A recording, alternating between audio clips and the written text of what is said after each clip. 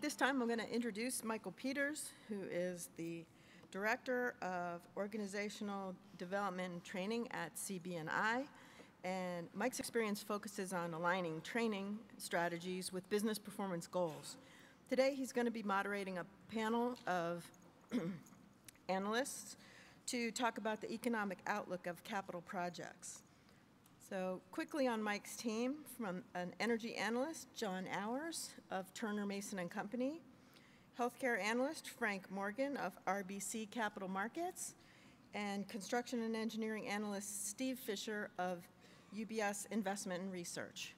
So if you gentlemen would come up and start your panel uh, presentation, we'll all appreciate it. And then we'll be done for an exciting evening. Thank you.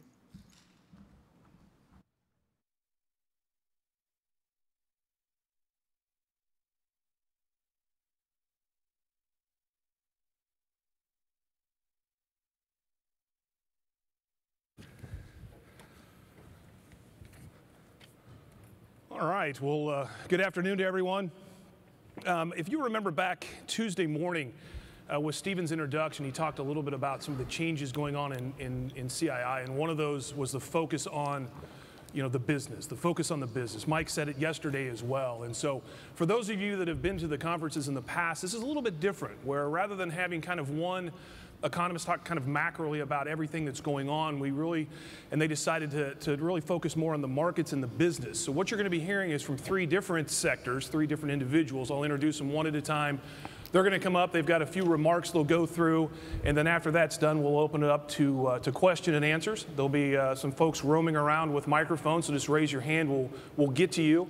And just as a reminder, before you ask your question, if you could uh, just state your name and the company that uh, that you represent and so go through this. So not only have I tried to get a Canadian elected, I'm now a moderator as we go through this. It's pretty good for me. Pretty good job security. I also do kids' parties and bar mitzvahs, so keep that in mind as we go. All right, so first up, I'd like to introduce Mr. John Auers. Uh, he's the Executive Vice President for Turner & Mason Company, an international energy and consulting firm located in Dallas, Texas. Uh, he's the team leader of TMC subscription products and leads assignments in the areas of refining economics and planning, LP modeling, downstream asset valuation, crude oil valuation, and capital investment and strategic planning. John joined the firm in 1987 after seven years with Exxon Corporation. So if you will, please welcome John to the podium. John?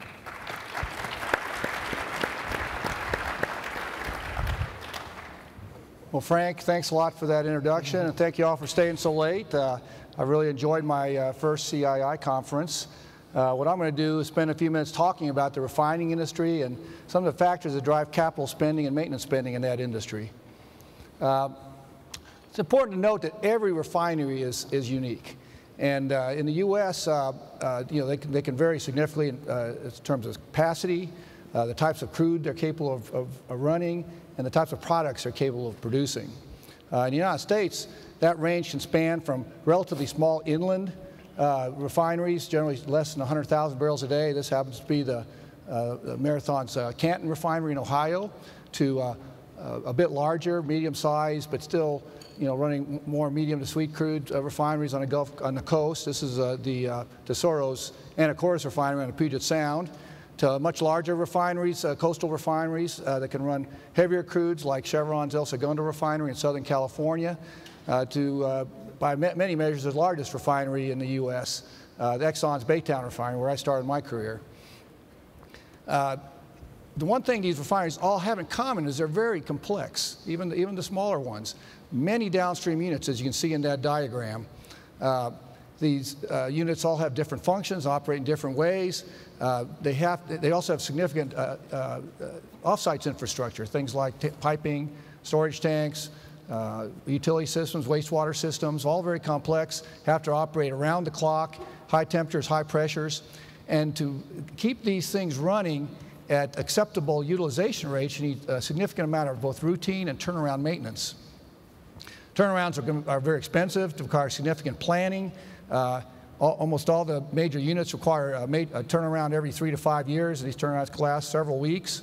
And some of the multi, uh, large multi-train refineries can have a major turnaround uh, once a year or even more than once a year on some of their facilities. And it's important to execute uh, this, these maintenance activities effectively and efficiently because uh, unplanned downtimes can have major impacts on the economy. Last year, when uh, Exxon lost their uh, gasoline producing uh, FCC unit in Torrance, California, Southern California, and was out all year, uh, that caused gasoline prices to be as much as $2 a, a gallon above the rest of the country in that region for, for most of 2015. Uh, refining is per perhaps the most dominant and widespread manufacturing industry in the U.S. Uh, the, the um, uh, well, let me go back one second there. The, there's over 130 refineries throughout the country. Uh, they concentrate on the Gulf Coast, but uh, they're, they're pretty widespread as well. 30 states have operating refinery within their borders. The industry itself employs 70,000 people directly, but really uh, uh, supports over 3 million uh, people, including many of you here, including myself. That's over 1.5% of total jobs in the U.S., uh, accounts for over 4.5% of total U.S. GDP. The refining industry pays almost $12 billion a year in taxes, and uh, they, uh, the total replacement cost we've estimated of the U.S. refining industry would be $150 billion. Now, the arrow has been pointing up for the refining industry the last 10 years, and that's despite declining domestic demand. Uh, we've actually decreased the demand, uh, uh consumption of refined products in the U.S. has actually declined by over a million barrels a day in the last 10 years. But at the same time, uh, refining has actually thrived and have done it by uh, uh, becoming a, a, major exporter. We, at one time, 10 years ago, were the largest importer of refined products in the world. Now the U.S. is the largest exporter of refined products in the world. Exporting, uh, uh, the net export levels are over two and a half million barrels a day now, and the largest category of exports after automotive exports by a dollar, on a dollar basis. The U.S. refining system is the largest in, in the world. One-fifth of all world refining capacity is in the U.S. Uh, that's 3 million barrels a day more than number two China, and, uh, and, and 4 million barrels a day more than all of Western Europe. More important to size is complexity of uh, U.S. Uh, refining system.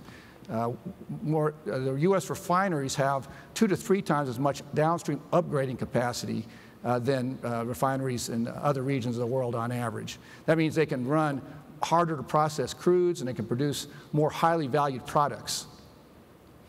Uh, now, worldwide, demand has been growing. Demand has grown by 9 million barrels a day, over 9 million barrels a day over the last 10 years and uh, refineries have had to expand by 11 million barrels a day, net expansion of 11 million barrels a day during that time frame. Now, most of that, almost all of that demand growth has taken place in developed countries, much of it in Asia Pacific region. Uh, and as, uh, to respond to that, most of that uh, refinery construction has taken place in those countries.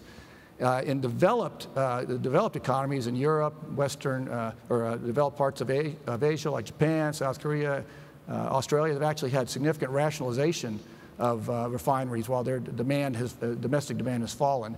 But the United States has gone against that trend. We've actually increased refining capacity by over uh, almost a million barrels a day during that time frame. Now, there's a lot of reasons why uh, for the superior performance of the U.S. refining industry. Uh, one of, the, one of the big ones underlying a lot of the other reasons is, uh, is the free market environment they run in. Ever since energy deregulation that, that Reagan initiated in the early 80s, uh, we've had a, a, a, really probably the freest market for the oil business of any place in the world.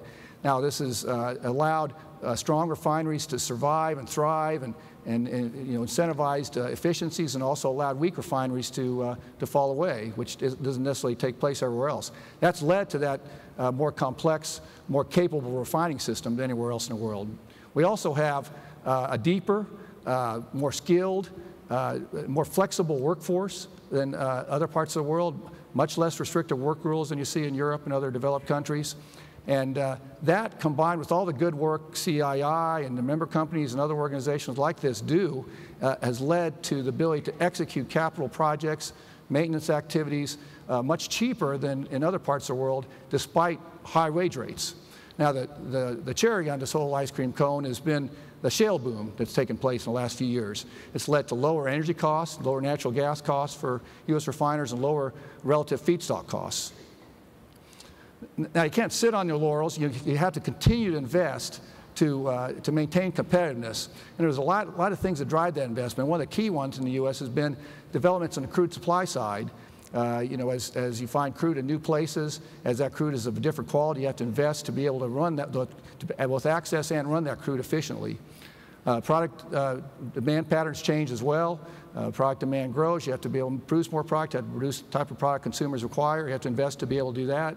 Regulators continue to issue new regulations, you know, that come from all segments, from the international bodies to, you know, primarily, you know, the, the national bodies like the EPA and OSHA are probably the biggest source of those regulations, but state and local authorities also issue regulations that have to be invested to comply with. And obviously, you have to replace obsolete equipment. You have to be able to deploy new technologies to stay competitive. This slide, I'm going to show some of the key uh, drivers that have uh, that have taken place uh, recently and are going to take place going forward in the U.S. Uh, industry to, to uh, incentivize capital expenditures. Back in the 1990s, uh, the, we thought the world was running out of light, light sweet crude oil, but we had a significant supply of heavy crude oil coming out of Latin America and out of Canada. So refiners spent tens of billions of dollars retrofitting the refineries to be able to run that very hard to refine and process crude oil. Lo and behold, upstream uh, guys learned how to economically produce uh, light oil from uh, tight and shale formations. And uh, that switched. In, in, recent years, we spent billions of dollars uh, adding, giving refiners the capability to run some of these very light, light oils and also to access those oils. Uh, you know, product uh, demand patterns have shifted as well. You know, we so, sort of went to a more of a diesel-centric world here in recent years, even though that's shifted a little bit here in the last couple of years with low, low prices but refiners invested to be able to produce more diesel, sh shape their product slates to meet uh, consumer demand. Uh, the uh, regulators have wanted to uh, limit emissions from uh, transportation sources. So refiners had to spend a lot of money to, to, to take sulfur out of diesel, to take benzene and sulfur out of gasoline, and we're still at the tail end of, of this last tier three, which is reducing gasoline sulfur limits to 10 ppm, and still some investments taking place there. Going forward, there'll be more regulations, uh, increased uh, fuel efficiency standards. Will probably require uh, higher octane gasoline. That will require additional investment. The International Maritime Organization is right this year considering when they're going to uh, start implementing low sulfur bunker, going having over the water bunker uh, uh, fuel to be at 0.5 sulfur. That's going to require investment. maybe it's not as much in Europe as the U.S. is in Europe, but still require investment. And refiners have to continually invest to modernize, uh, like I said, deploy that new technology, uh, keep uh, their plants reliable. Uh, the AFPM, the American Fuel and Petrochemical Manufacturers, they commission a study every quarter, commission uh, data to be generated every quarter to forecast capital spending and maintenance spending in the, uh, in the U.S. refining industry. That graph shows what, what their latest second quarter forecast shows, shows uh, really rough, roughly staying fairly stable, about $9 billion a year in capital spending and four and a half to $5 billion a year in maintenance spending. What we use is we have a rule of thumb generally for individual refineries and for the industry as a whole that maintenance costs are generally about 3% of replacement costs. Those numbers are relatively consistent with that. Uh, and, and, so we, we feel those we're, we're, fairly in agreement with that. We think defensive capital, that kind of capital is needed to comply with regulations to keep units reliable, replace obsolete, uh, obsolete units is about one to one and a half percent, about two billion a year. Uh, so by difference, uh, you know, their numbers show about seven billion a year of, of, economic capital will be spent. Our view is actually that's probably going to be a bit less than that, uh, at least through 2019. Uh, so there, there's threats to the refining system. It's not all, it's not all uh, you know, good things. Uh, you know, certainly the there's a threat to the export model, particularly important to U.S. Gulf Coast refiners who export about a third of their product right now.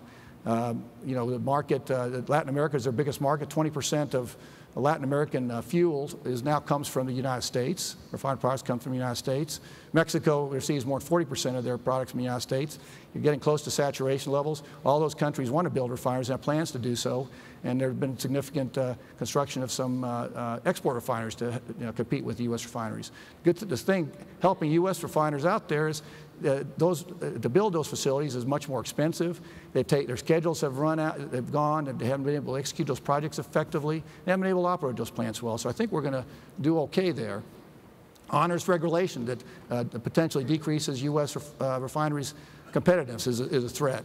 And you know, generally, economics uh, get rid of most of the, uh, you know, override most of the real real bad policies. We hope that continues to be the case. Some policies can even be an advantage to the U.S. So the IMO low sulfur bunker fuel regulations will, will, be more threatening to Europe. Europe's simple refineries probably cause more of them to shut down, actually advantaging the U.S. refining system.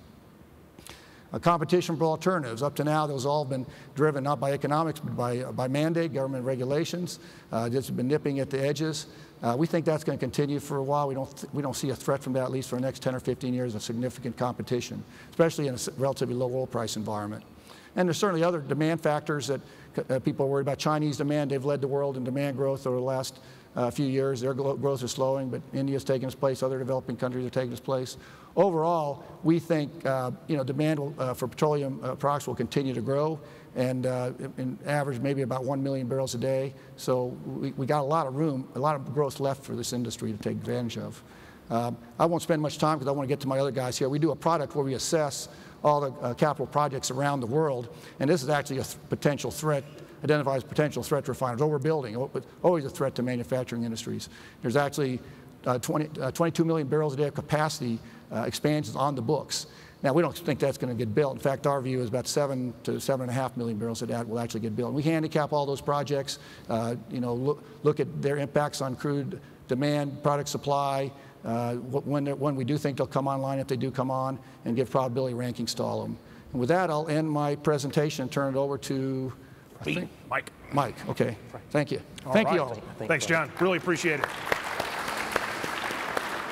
And again, as we go, again as we go through, we'll have um, you know three different sectors representatives. So if you think of your questions, you can direct them to that specific individual or to the entire panel as well. But next up, representing the healthcare industry, is Mr. Frank Morgan. Uh, he is the manager director with RBC Capital Markets in Nashville. Uh, Frank dedicates his current research to facility-based healthcare services, including acute care, hospitals, senior living services, and a range of specialty service, service providers, including institutional pharmacies, hospice care, long-term acute care, rehabilitation, and behavioral health services. Frank has 24 years of experience in equity research and investment banking. So please welcome to the podium Mr. Frank Morgan. Frank?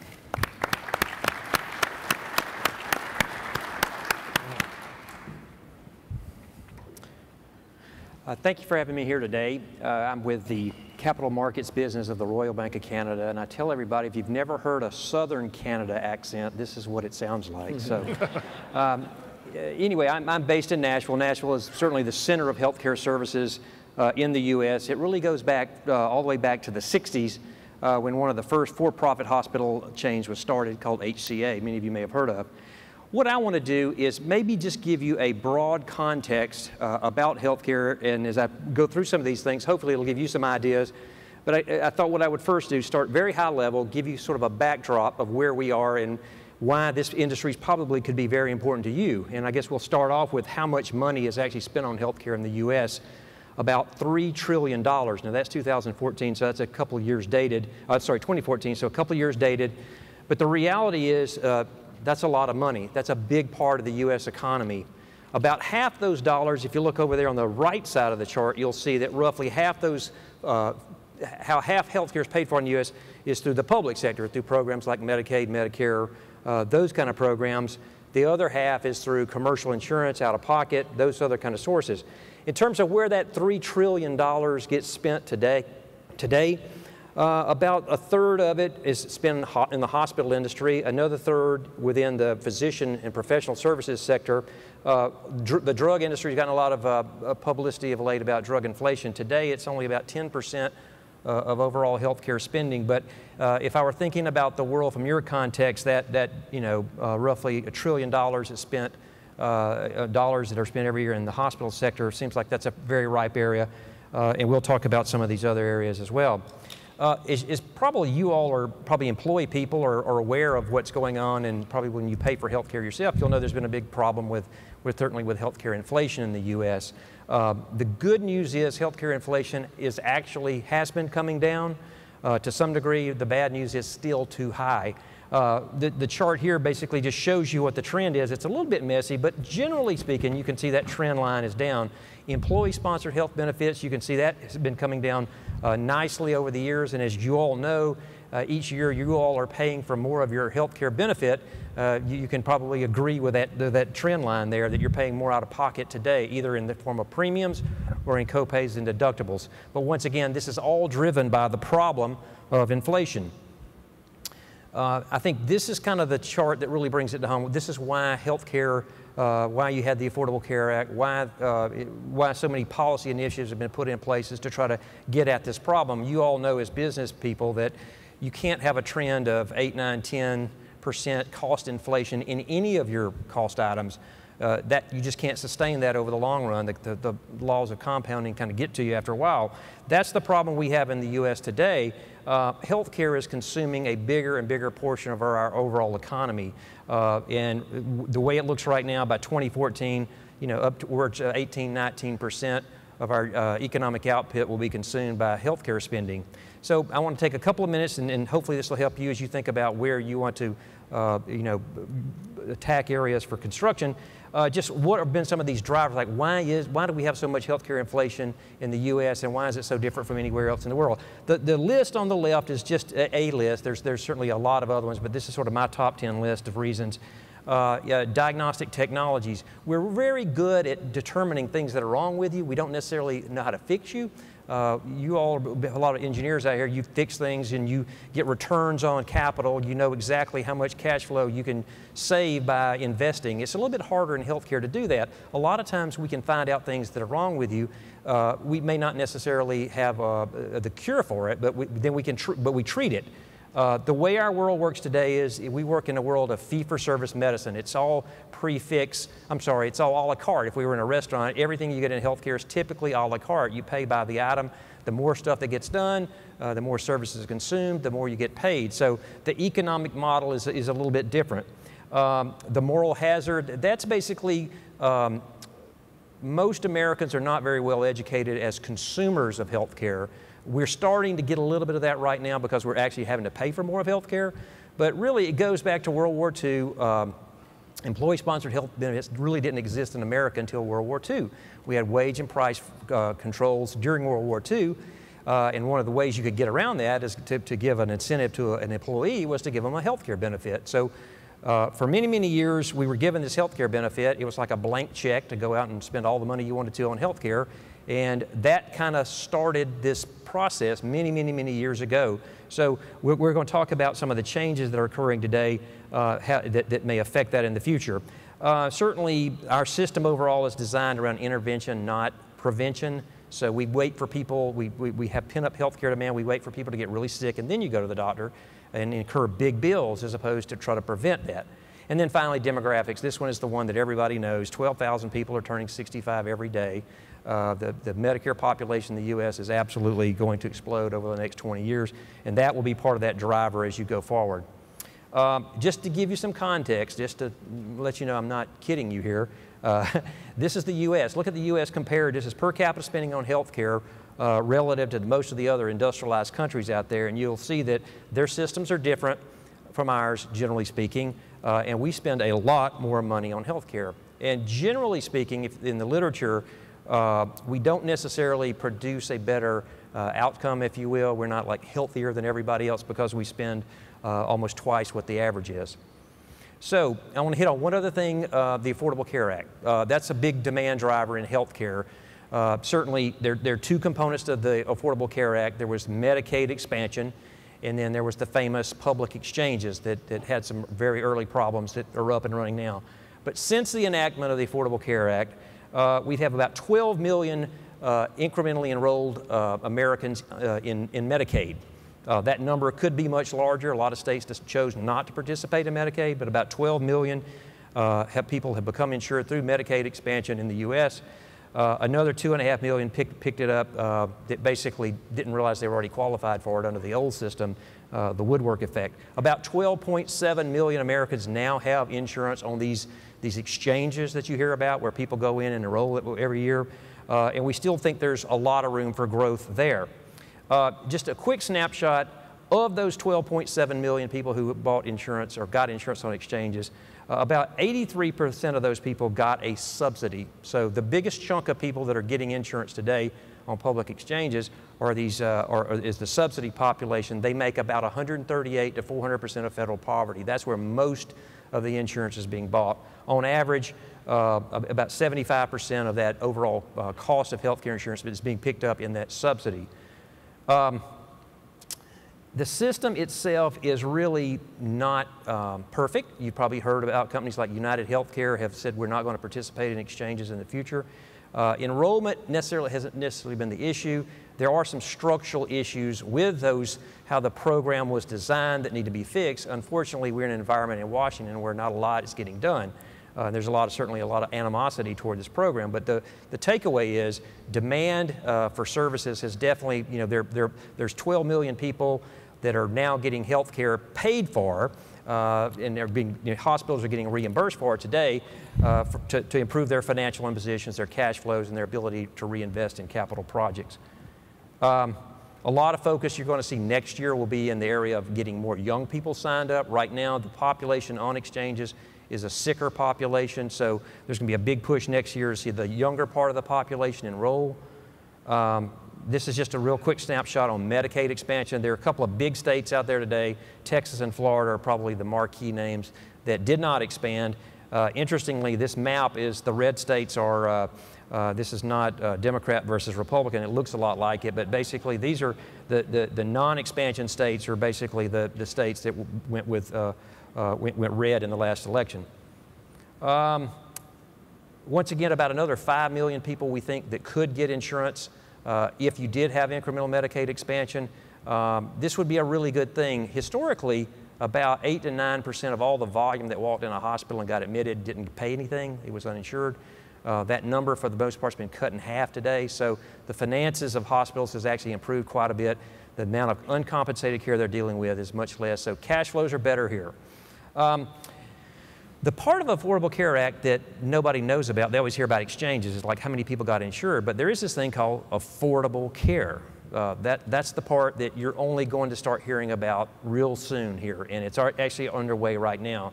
And the notion here of the Affordable Care Act was part two was lowering the cost of care, is what I want to mention is a, is a big opportunity maybe for, for you all. Um, the, the notion is to pay for health care, and this is in the Medicare population, pay for health care uh, as a bundle. One big uh, check for taking care of, of a, of, a, Medicare beneficiary over the entire episode of care, rather than this a la carte menu idea that I was telling you about, where everybody, everybody gets paid everything and everybody's submitting bill. It, it, shouldn't matter. You want, what you want to pay for if you're the government or anybody that's buying health care is you want to get an outcome for an episode. And these things called BPCI and CJR, these are, these are tests that are being going on in the U.S. right now uh, that are being tried out to see if we can actually develop these systems to pay for healthcare episodically.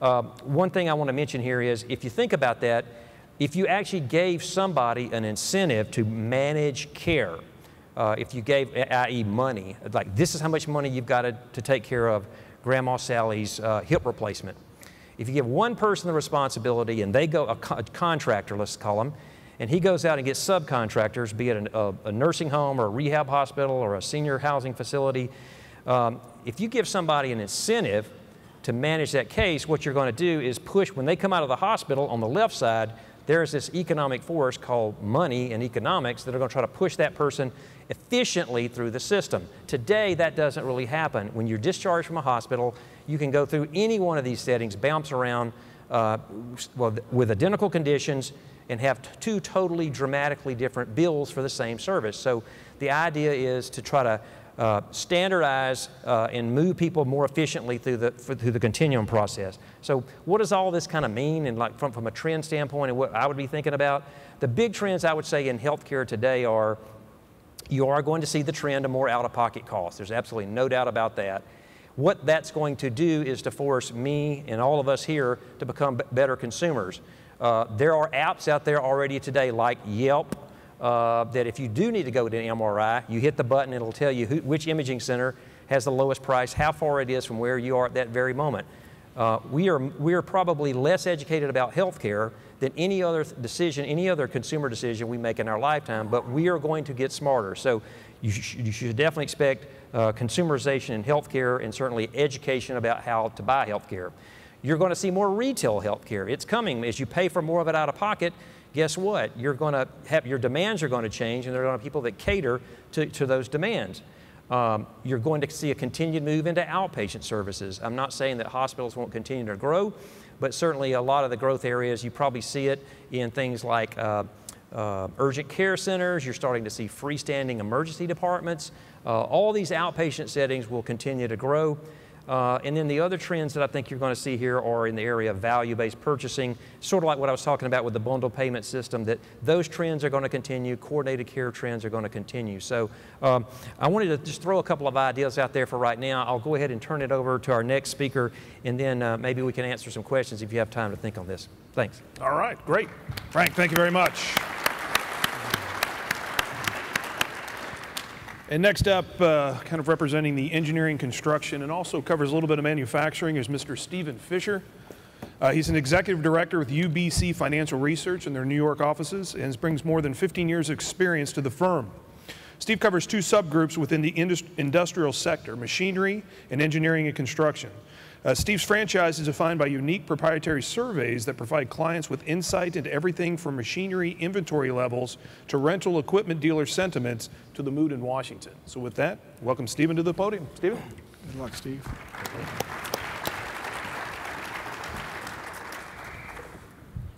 Okay, well, thank you very much uh, for having me here. It's been a pleasure to speak with a number of you over the last couple of days. In case any of you are wondering what research analysts actually do, I thought maybe we could start off by doing a little research. So if you'll indulge me with a show of hands, I'll ask you one question. And that question is, what do you expect business conditions for your company to be like next year compared to this year? Better, this, uh, worse, or the same? So by show of hands, business conditions, you can define them in any way you'd like. Better next year? How many people think so? Worse than next year? And the same. Okay, so I think it's a balance between better and the same, so that, that's good. Um, not too much negativity here, um, because it is what I would consider a challenging environment. We think there's too much capacity of a lot of things in the world, uh, things like commodities, manufacturing capacity, and perhaps even in certain cases, engineering and construction services. Uh, but before you think I'm picking on the group, there's clearly far too many stock analysts as well. So, you know, what's fair is fair.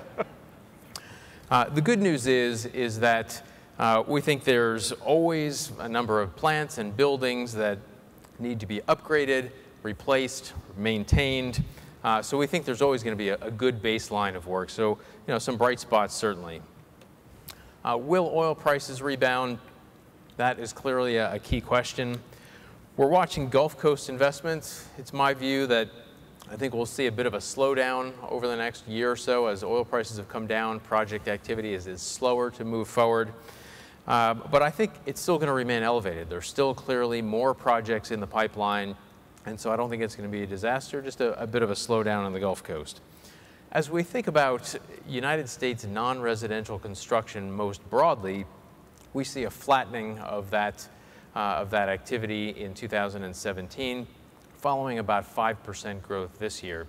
And that flattening in my view, reflects growth in the public sector side, highways, streets, transportation, transit, uh, offset by a slowdown in the private sector, commercial, office, manufacturing.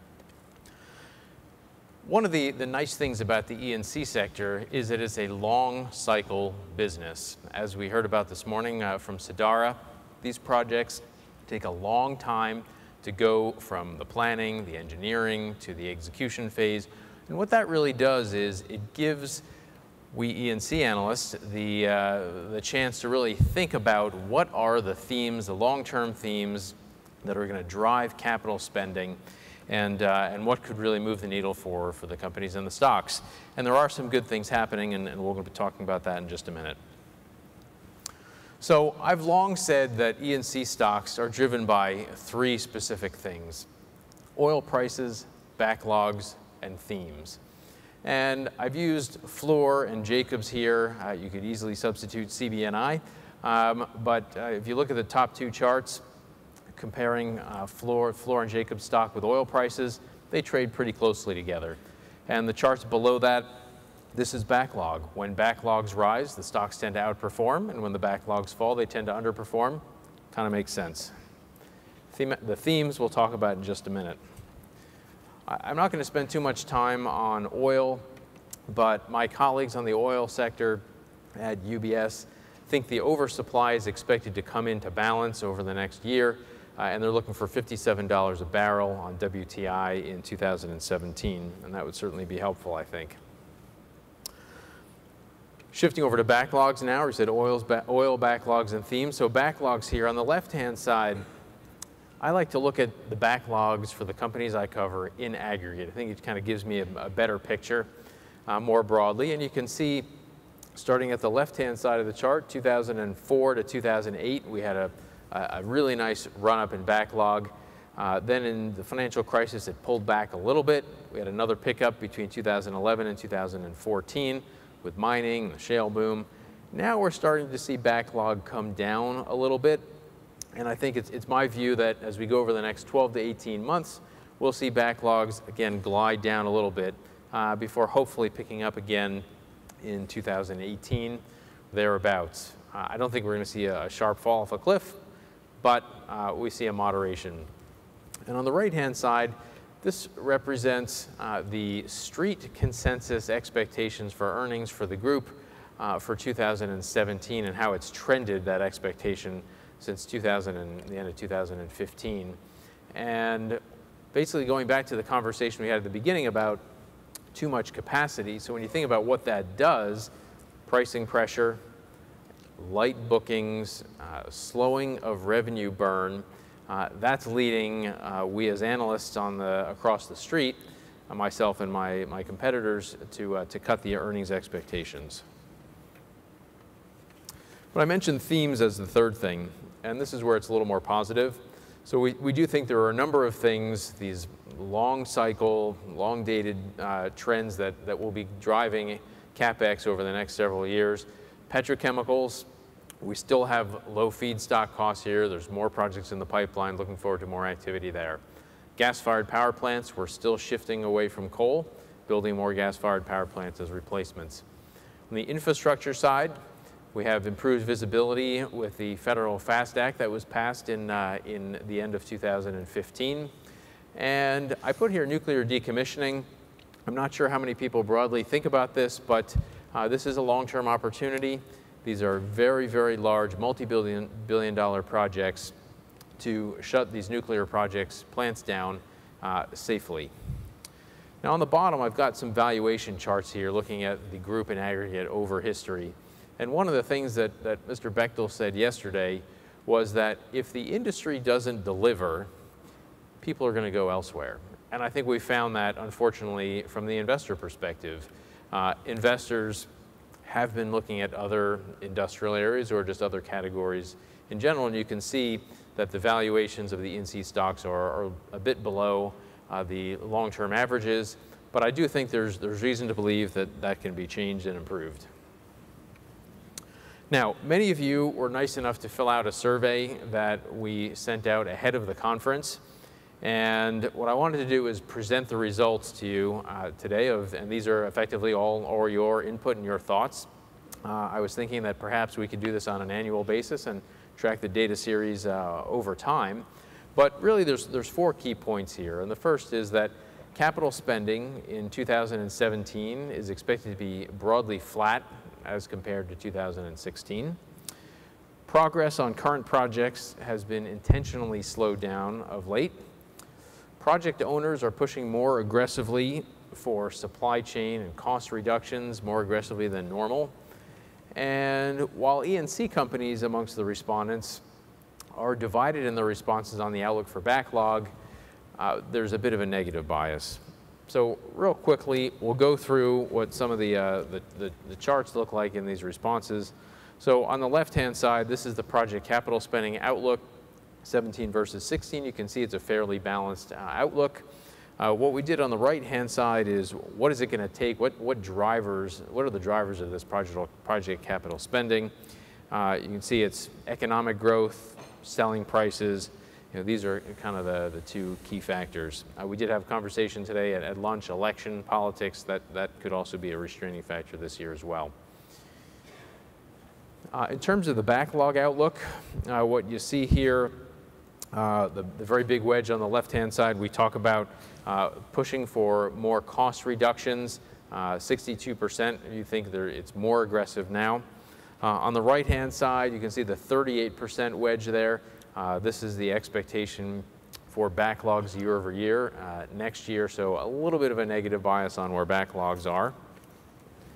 And then just wrapping up here, uh, as it relates to oil projects specifically, uh, what is most important in getting these new projects going? It's, you know, you can see overwhelmingly two-thirds, both the level and stability of prices is key.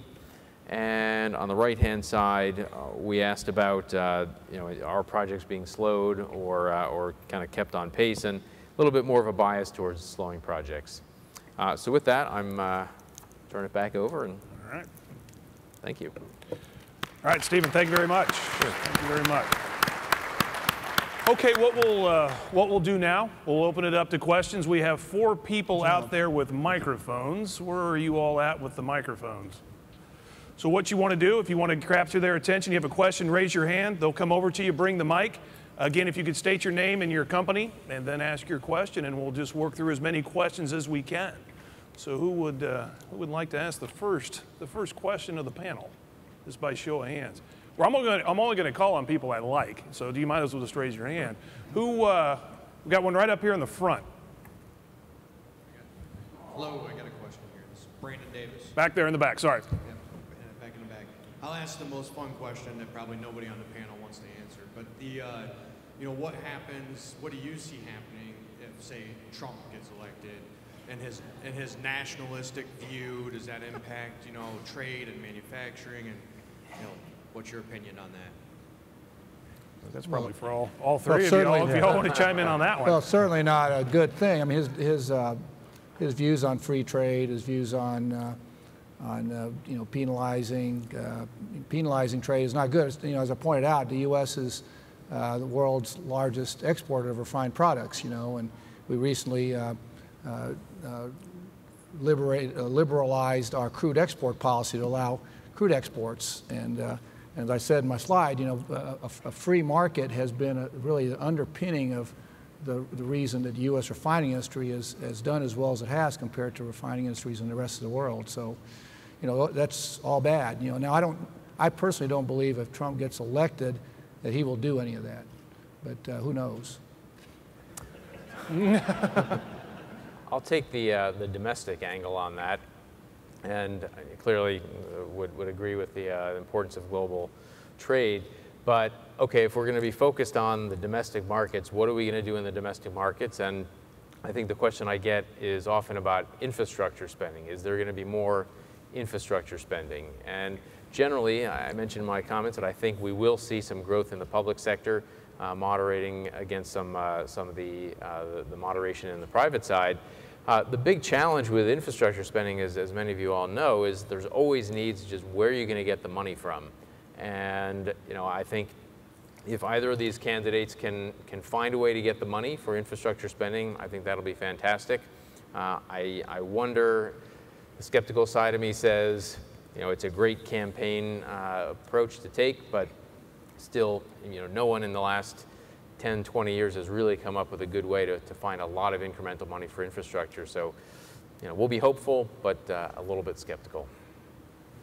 Um, I'd say in the world of healthcare, the, the, the obvious thing that he has said is he will repeal, but he also says and replace Obamacare. So well, some of the Republican candidates said they would repeal it, and that was the end of story. But at least he has said he would replace it, and there's not a lot of details on how he would actually replace it. But I actually don't think it matters uh, in the sense that if you think about the numbers, you've got you know 22, 23 million people incrementally insured.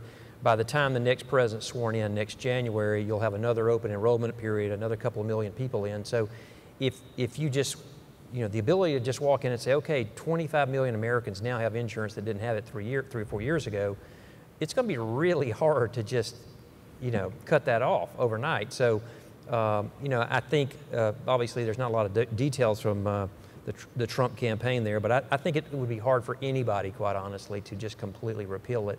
Um, so, from my perspective, I think that doesn't mean there wouldn't be a lot of noise, say, in the in the stocks, but in the short term. But I think in the long run, it probably will still be there. Okay, great. We had a question over here. Was that your question? Okay, great question. How about back here in the middle? Yeah, uh, my name is Ron May. I'm with uh, DTE Energy, and uh, I kind of hope you like me. I didn't. Here's hear. the deal uh, low inflation, low interest rates. When does that change? Well, I guess I'll take a crack at that. Uh, low interest rates, low inflation. I think when I look at a lot of my industrial sector, as Mike said, I, I cover both machinery and uh, E&C. I think we really need an inflationary environment. Commodity prices really, I think, drive so much. You know, you, you build out, this is a, a late cycle, long cycle industry. You know, you build these things out when the economy's going great and you just need more capacity. And I think the fact that, you know, we have low, in, low interest rates and, and low inflation, that's, that's just a real challenge. I mean, maybe on the flip side is it helps the financing costs of, of projects. But I think if you ask anyone in, uh, in the industry, probably like to have a little more inflation and a little more economic growth. Well, I mean, I, I'm not an economist. I focus on the refining industry. We, in our, in our forecast, we assume that a relatively low inflation environment uh, continues for the next 10 years.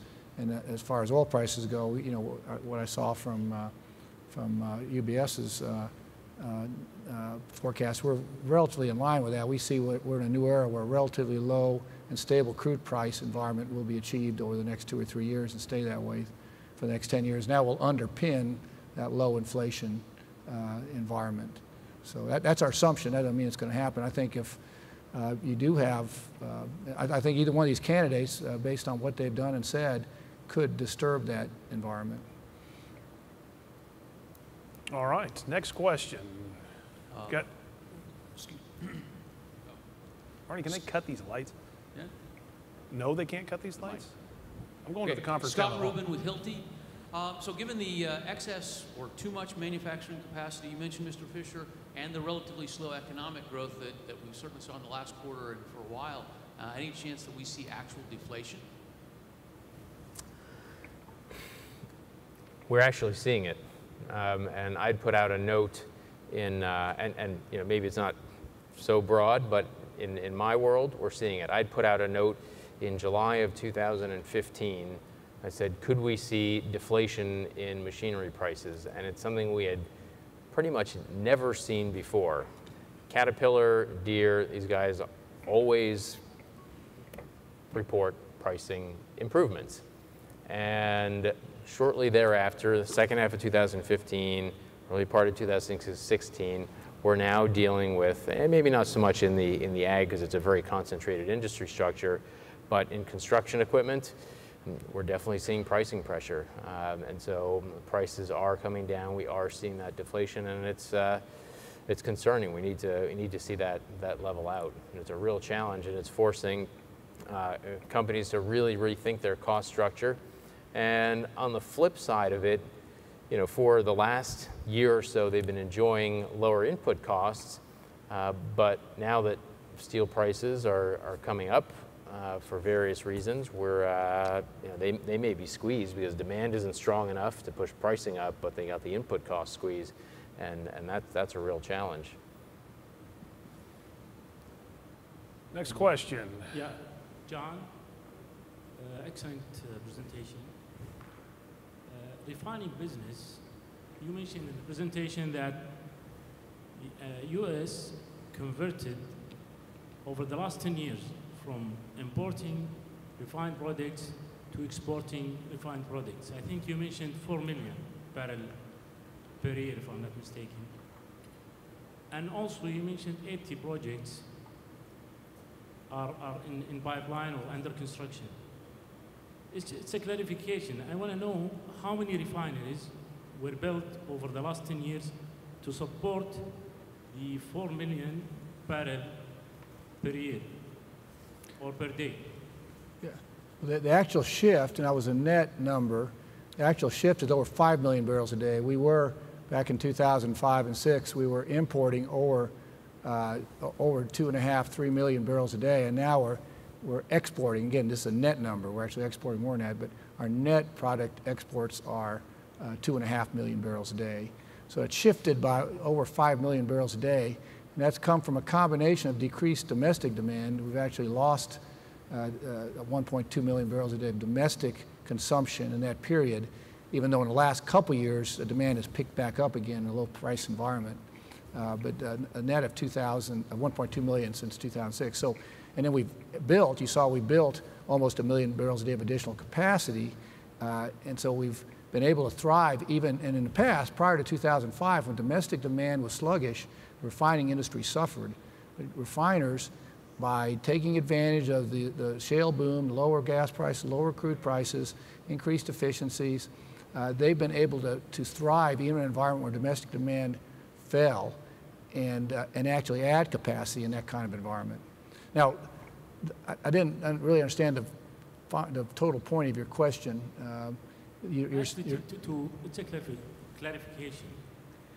Uh, looking at the number or the million of barrels that produced per day, and looking at the, the stringent environmental regulations in the states, and also I'm aware that the, the, there are no refineries built over the last 10 years, new refineries. I'm a bit trying to understand or at least comprehend how this big number of million barrels per day increased in the market. Well, probably uh, the 80 projects that you mentioned is supporting this. So, so the clarification is what are these projects to support this yeah. million barrels per day? Well, I actually, you know, always, they always say that thing, no new refineries have been built. you know, when Motiva put in their 300,000 plus a barrel a day expansion at Port Arthur, that was essentially a new refinery. It just happened to be uh, a new, new train at an existing refinery site. But that was actually the single biggest refinery build in U.S. history, you know, at, at that at one time. So that, that was, even though it was built on a brownfield site, it was essentially new greenfield capacity.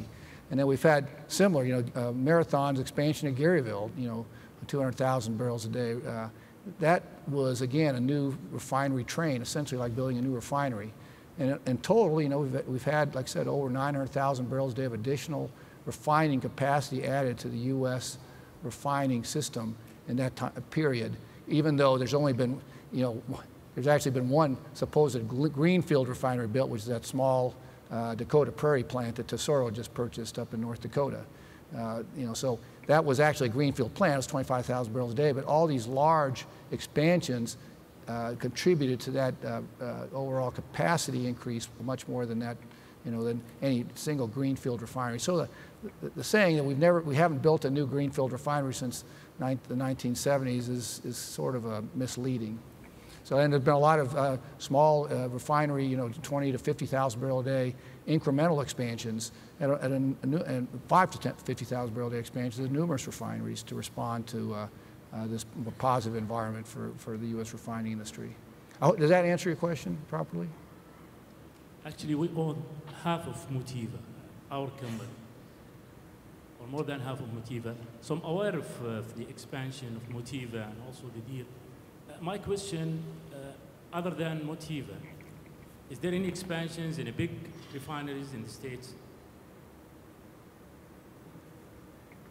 I, I, didn't hear the last part of that. I mean, obviously, the, the big expansion. Are there any expansions other than Motiva in the refineries in the States? In the I mean, Garyville was a huge expansion. I mean, that was essentially what I think is a, a 200,000 barrels a day. Um, and we've had, uh, you know, multiple others. They all add up to a net expansion. And during that time frame, there were some refineries shut down as well. So we actually had more capacity added uh, the, the, net number was 930,000 barrels a day of additional capacity added in the last 10 years in, in, the U.S. We now have over 18 million barrels a day of capacity, the highest number we've ever had. Again, I, I hope I'm answering the question. Yeah, I think so. Yeah, I think so. Yeah. Any other questions out here? Yes, sir. Yeah, I'm going to shift a little bit uh, away from refineries. Hassan Atta, Saudi Aramco. Uh, I've heard, which is not from this panel, the question is for all your panelists, economy and technology question.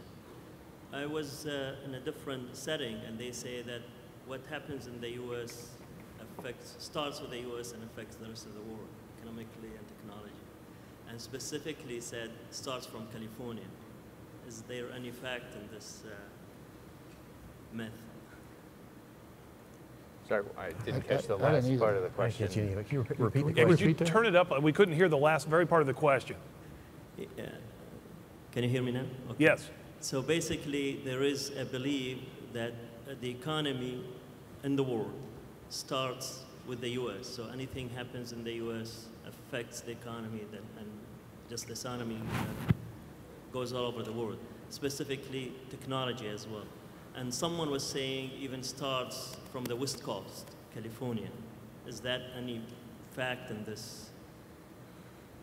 So if I understand correct, so the, the U.S. affects the world economy. In, in, the, in the U.S., does it start from the West Coast and move east and then move to the rest of the world? Or is there any direct impact to how the U.S. affects the world economy? I think is, the, is that the question? That's, That's the right. question, kind of for all three of you all.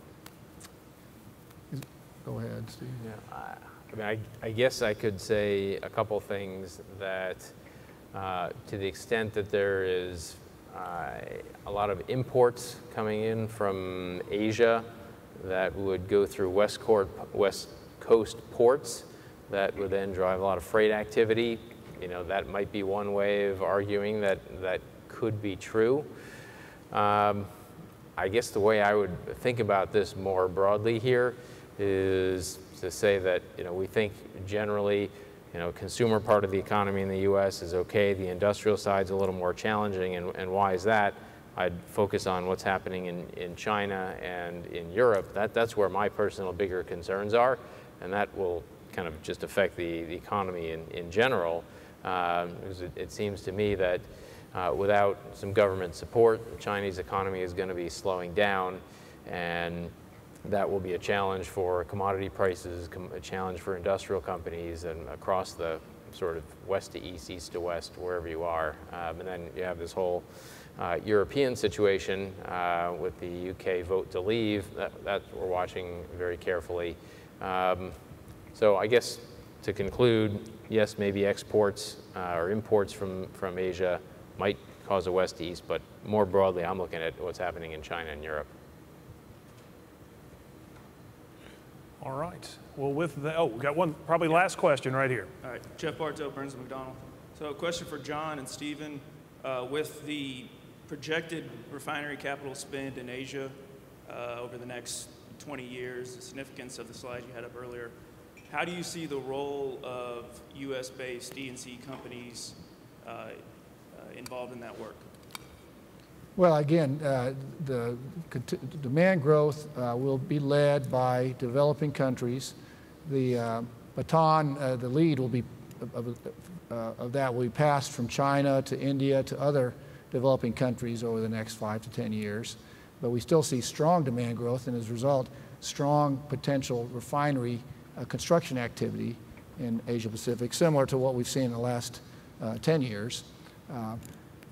We don't, so, so I, I see opportunities for EPC companies there, which have already are getting involved with. And that is where most of the opportunity is going to be. The U.S., as I showed, is, is, uh, has a healthy refining industry. I think it'll maintain its uh, leadership, its competitiveness, but I don't expect capacity additions beyond where we are now. There might be some additional rationalization potentially on the East Coast, and there might be some incremental uh, capacity increases in other places. But I think we, our, our current base case shows refinery capacity staying relatively steady in the U.S. going forward. So the opportunities uh, for new refinery construction uh, are going to be primarily in developing countries. Now, uh, we still have that big base, and I, I know uh, uh, Steve mentioned that. There's this big base of, you know, 18 million barrels a day of capacity. There's uh, continued need for defensive capital spending and maintenance spending, 3% of replacement costs for maintenance, 1.5 for, uh, 2% for defensive, continued needs for spending for all those other factors that, that I mentioned that are going to drive the need to stay competitive. So, you know, you know, we're still going to be spending, you know, that 8 to 9 to 10 mil- billion barrels a year on capital uh, uh, spending in the U.S., but the big opportunities are going to be overseas. Did did that answer your question? Yeah, and I guess another component of my question I left out initially was with all the greenfield spend going in uh, in Asia there, and with the, how do you see the impact of the national oil companies in that region of the world, and how we interact with them on those projects? Well, I, you know, it's, it's going to be, we'll see how that evolves. I mean, obviously, we've had evolution in China where they've uh, liberalized uh, the ability of uh, independent uh, so-called teapot refineries to buy crude and sell products. So we'll see if there's more liberal, liberalization in that direction, but I don't think that's going to come very fast. So I think national oil companies uh, in most of those countries are going to are going to drive it. Now in India, uh, you know, I, you know, you have two very strong independent private companies, Reliance and, and Essar, that, that exist and who have been very uh, good and efficient at building refineries and very aggressive in expanding. So there's opportunities there to deal with a non-national company. But most of those countries, you know, as national oil companies, I think are going to continue to, to um, you know, drive the boat. I would say there's maybe two aspects to it. What we see from the U.S. E&C companies uh, relating to, to activity in, in Asia. Uh, certainly, a company like CB&I that has a great technology portfolio, selling, uh, licensing technology for, for new plants over there, doing engineering design work. Um, to the extent that there are more Western companies that are, that are building out over there, there's, there's great opportunities to work with them. Uh, maybe one more unique element, Fluor Corporation is investing half a billion dollars into a fabrication yard in, in China for onshore and offshore work there. So, that's a, that's a unique opportunity. Um, but otherwise, I think we sort of just view the, the new big plant construction that they could be involved in as sort of kind of one-off opportunities here and there in the region. All right. All right. And with that, unfortunately, we are out of time. I'd like to thank Frank and Steven and John for your time. Really appreciate it.